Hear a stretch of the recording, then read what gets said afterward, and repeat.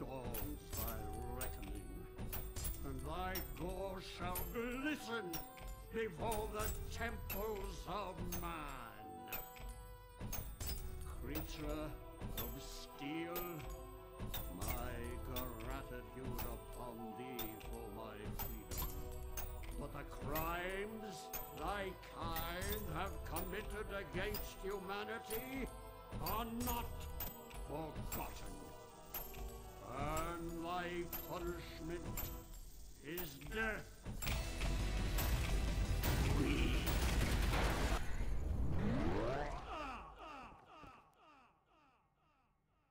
Forgive me, my children.